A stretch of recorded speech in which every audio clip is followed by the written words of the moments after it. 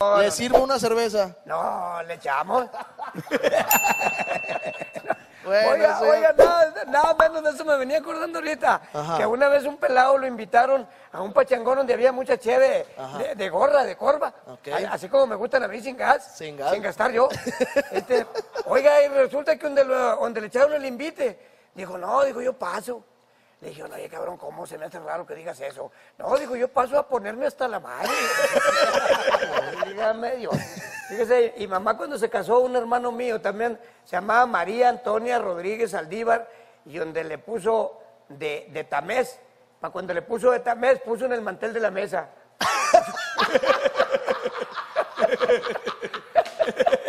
Se salió a la Sí, se chingada. salió, se salió del libro. Qué chinga cuando se portaba mal y que la ponían a hacer planos. Oiga, pues eh, hablando de Pepito, de, pero puro decir que cuando, no, ¿no? Cuando, cuando hace cerca de 100 años, que Pepito ya ahorita se me hace que si viviera tuviera como 120. Este, oiga, pues dicen que en aquellos años a Pepito en la escuela se le ocurrió hacerle una pregunta a la profesora, porque dijo, oiga, profe, usted siempre nos hace preguntas a nosotros, y ahora yo tengo mucha tentación de hacerle una a usted. Dijo, ah, Pepito, ¿cómo no? Dijo, me da gusto. Dijo que me digas eso. Dijo, ¿qué quieres preguntarme? No, profe, pues yo quiero que me diga qué tan cierto es que el corazón tenga patas. Dijo, no, Pepito, dijo el corazón, dijo, es un órgano que tenemos aquí en el cuerpo, dijo que es el que nos bombea la sangre en todo el cuerpo. Dijo, ¿por qué me dices eso, Pepito? No, dijo, porque hace poquito papi se perdió en un monte y duró dos, tres días para salir y dar con la casa. Y cuando llegó, dijo, llegó cerca de la medianoche. Dijo, y cuando llegó, dijo, y se acostó con mami, dijo, yo entré dormido y despierto, dijo clari- clarito, y que dijo, levanta las patitas, corazón.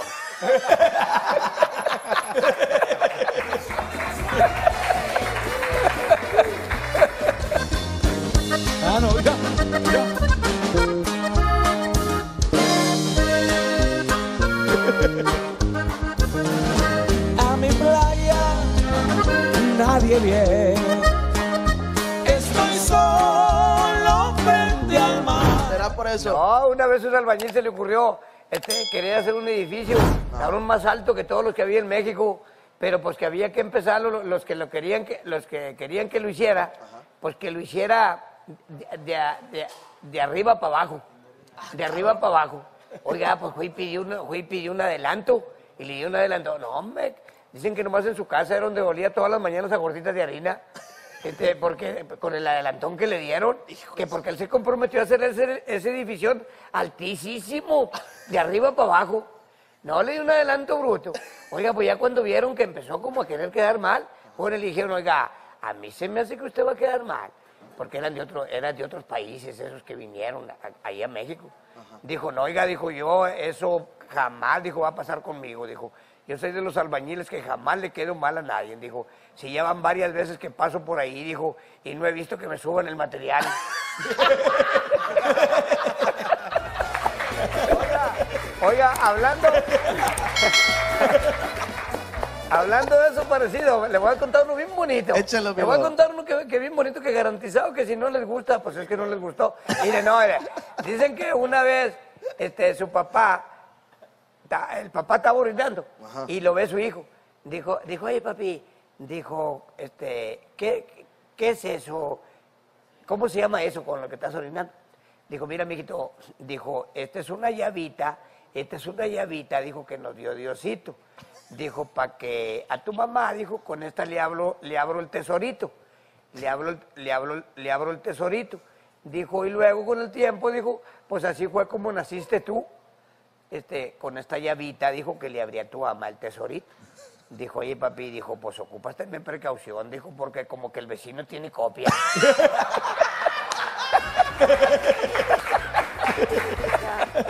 No, yo cuando, los, yo cuando los arrimaron aquí creían que eran dos microfonitos.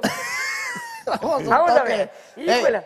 Vamos, bueno, a, vamos a ver. nada más para que se calen. Sí, vamos a ver. Fíjate. Vamos al uno. Ay, mamacita. Ah, qué.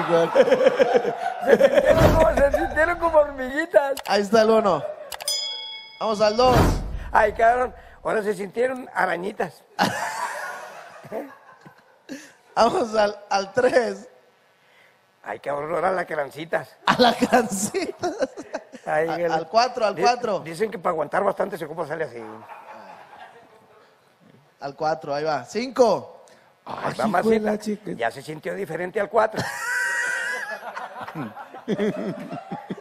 6. Hijo de la chinga. Don Pilo. Sí, no, ahí, ahí está, está, ¿Está bien, está bien, está bien? Está bien, está bien, está bien. Uno más, uno más. Está muy bien. ¿Uno más? Sí. ¡Ay, hijo de la- 7, güey. No manches, como nada, Oye, man. se siente bien sabrosón. El 7 se siente con... Bien sabrosón. Se, se siente más sabrosón que el 8.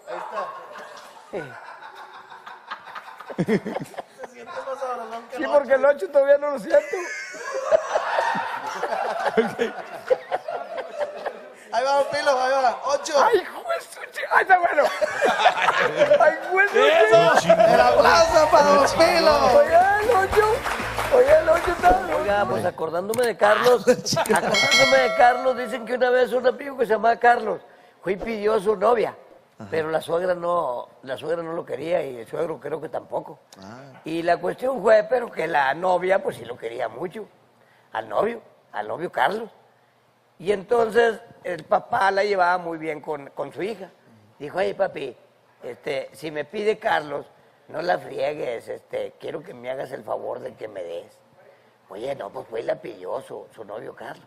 Oye, pues que va viendo, que va viendo la chamaca que, que, que sí la dio su papá. Y no, hombre, otro día le dijo, oye papi, dijo, qué gusto me da, dijo, que vino mi novio, dijo, y me pidió, dijo, y me diste.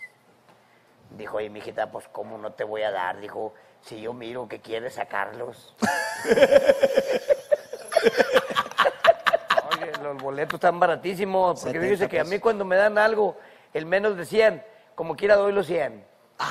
Ay, cabrón, neta. Así.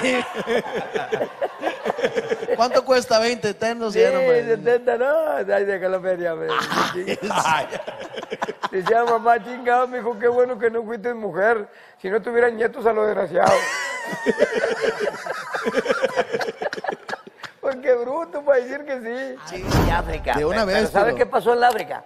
Que, que un matrimonio que se casó, este, y la mujer muy, muy bonita y todo, pues sí, pero, pero su esposo eh, muy ocupado, tenía, tenía bastante chamba, y se, y se iban a ir de luna de miel, pero como el esposo ya había ido a varias lunas de miel, y la mujer no. Dijo, no, mi vieja, dijo, pues yo yo ya he ido a varias lunas de miel, dijo, este, te voy a dar chance, dijo, de que tú te vayas sola. Dijo, y allá diviértete, dijo, como si fuera yo, dijo, tú eh, échale ganas allá. Y la ilusión de la mujer era irse al África. Oiga, pues se fue al África. Este, pues resulta que como que los chistes parece que es cierto, porque quién sabe si mentiras. Este, fue y cenó bien sabroso en un, en un restaurante y luego se fue a un hotel. Oiga, pues que llegó al, al cuarto del hotel. Oiga, pues no estaba un negrón, cabrón, en la cama donde entró la mujer.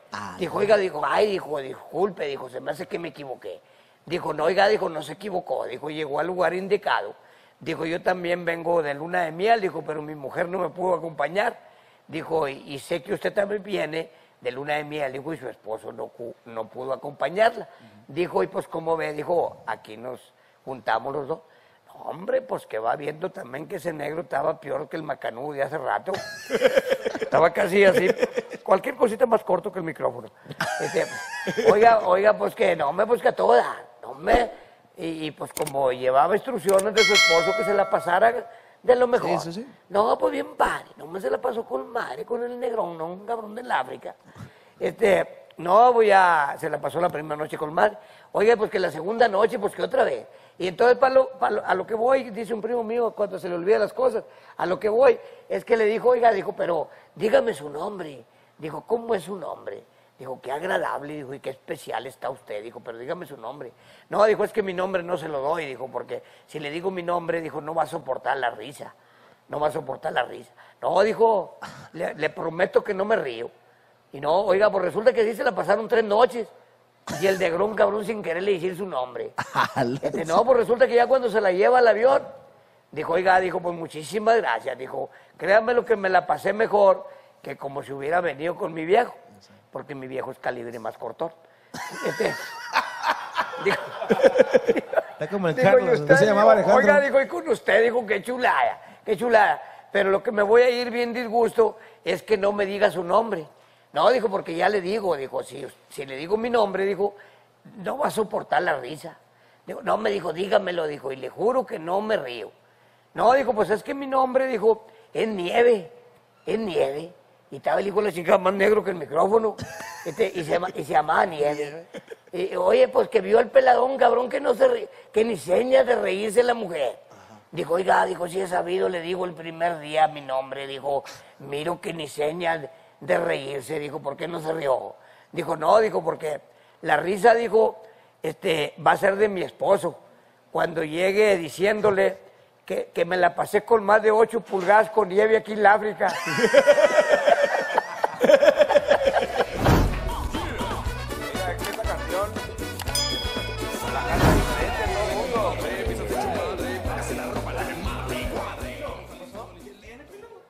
¿Qué fue? ¿Qué fue, Pilo? ¿Estás bien? ¿Qué lo, Pilo, ¿qué le duele? Pilo. No se crean, güey, no hay corte comercial. No mames.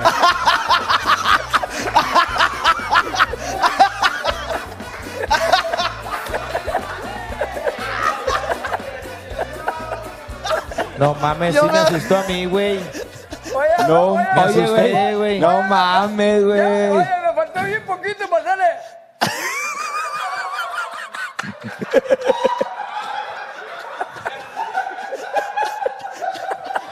No mames, me asusté, güey. Oye, no manches, ma- No mames, güey. Sí, qué bárbaro, hombre. Yo- No, güey, es que ¿sabes por qué, güey? No Vi la cara de, de- de- de Carlos y dije, no mames, güey, ya. ya Bueno, te lo juro que me iba a levantar, güey, a, a levantarlo, güey. Sí, ¿Qué le paró? a Don Pilo se le paró. Oye, Don Pilo pues, se ahí le en paró. la casa, ahí en la casa, unas hermanas mías, este, eh, les vivo haciendo esas bromas. Y, y, y no, hombre, es porque este, estoy cesteando ahí en la casa. Y, y- y entran de un cuarto a otro y salen. Y en veces to- me toca la de malas que pasan y no me miran. Este, pero, pero cuando me miran, no me se llevan un sustón. Porque estoy con la boca abierta y, lo- y- y- y los dientones acá. No.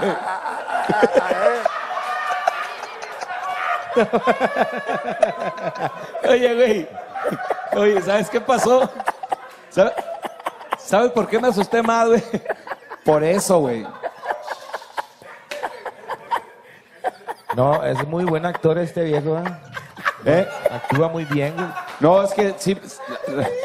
Qué cabrones son, la neta, Y güey. otro león, fíjese, este también está a todo dar, porque ya ve que ahorita, pues, para ganarse uno una feria y para ganarse uno la vida, pues hay que hacer la lucha. Oiga, había un pelado cabrón que, que estaba bien peloteado allá en la África y, de tipo así como Tarzán y todo. Oiga, pues, ¿qué creen? Que compró un leoncito chiquillo y lo hizo educado, lo hizo educado. Y, y compró un fuetón, cabrón, ahí, en- ahí en los cabazos, entre la bartería y el caballito. Ah, cómo no. Oiga, y, y- y compró un fuetón, cabrón. Oiga, y lo enseñó, lo enseñó que dándole fuetazos, abría el hocico y le metía, y le metía la pirinola así en la boca, este, y, y dándole fuetazos, y que no la cerrara, que no la cerrara, porque cerrándola había peligro, había peligro. claro. Oiga, y luego resulta que nomás terminaba el acto y le daba unas salchichonas de azar y miraba a la gente que me daba las salchichas, no me las hacía garras. Oiga, pero resulta que la pirinola sí se la respetaba. Le metía la pirinola, que también estaba así como parecida al micrófono. Se la metía así. Oiga, pero le daba fuetazones así en, en medio de las dos orejas. Llórale, cabrón, llórale y haga lo que tiene que hacer. Y se metía a las cantinas y, y no, pues la gente, lo- todos los borrachos, y decía, ya ve que a una media agua pues le vale madre. Y pues de ver un acto de esos, pues le daban muy buena feria, porque era un arrojo, cabrón, meterle la pirinola a León con el hocicón abierto así, y dándole fuetazos así en la cabeza. Este, y entonces empezó a decir, doy mil pesos el que haga esto que hago yo y doy mil pesos esto que hago yo. Oye, en eso pasó un gotito, cabrón. Y, este, y, abrió así las persianas y empezó a ver. que estaba el pelado cabrón con el leonón así, con los hocico abierto y la pirinola así metida entre los hocicos. Este, y doy mil pesos el que haga esto, ¿qué hago yo? Y dijo el cotito, oiga, dijo, yo por 500 lo hago, dijo, pero déme los fuetecitos queditos.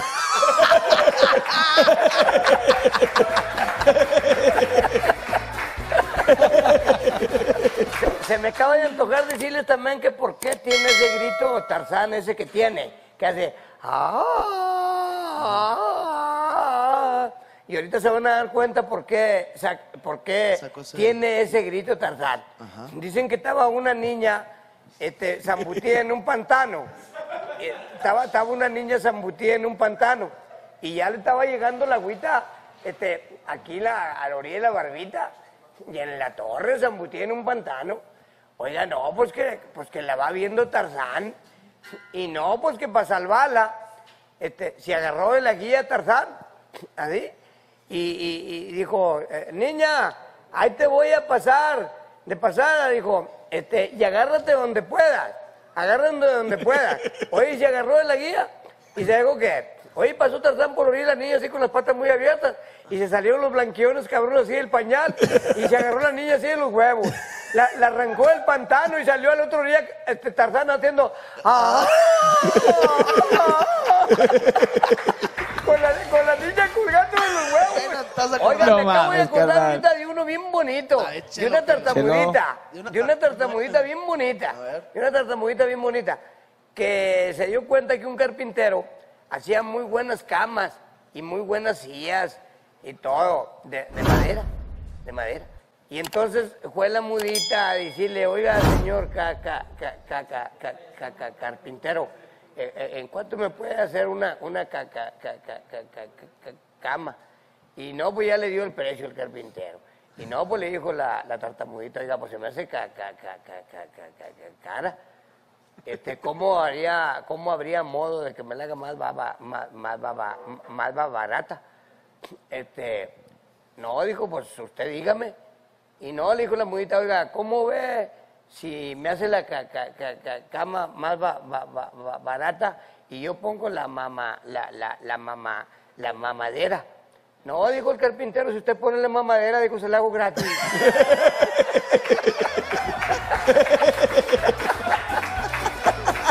No, no, esa era tartamudita. No, porque tenía otra hermana que era mudita. Ah, la Pe- Pero esa, Ah, le, ya esa le vale. mandaba el papá a un tendajo y un viejito. Y el viejito, cabrón, medio, medio cachondío, porque tenía mucho que se le había muerto la esposa. Oiga, y, y- y- y llegaba la mudita, y llegaba la mudita, y, nomás se tocaba, eh, dispensen lo, lo- lo- lo- blanco que tengo en la cabeza. Oiga, y llegaba la mudita y se tocaba así la, la cabecita así varias veces. Y no, pues ya sabía el, el viejito de tendajo que eran unas cabezas de ajo, que eran unas cabezas de ajo. Ok. Este, oye, luego se hacía así, se hacía así, este, y no, pues ya sabía el viejito que eran unos tomates, unos tomates, porque se tocaba así los ojos. Y luego se hacía así, y no, pues ya sabía el viejito que eran dos litros de leche. Dos litros de leche. Oiga, y luego donde se tocó hacia abajo, dijo el viejito, oiga, no, dijo, no, no hay, no hay. Y siguió la mudita así terca a tocar de abajo. Oiga, dijo, no hay, no hay, hombre. Y no hay cuidado, dijo, le fío. Y no, siguió la mudita así terca tocando hacia abajo. No, porque quería nuestro pago.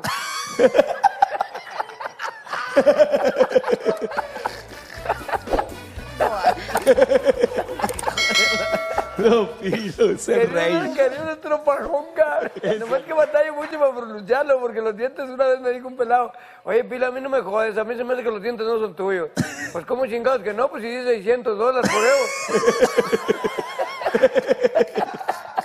Sí, son míos.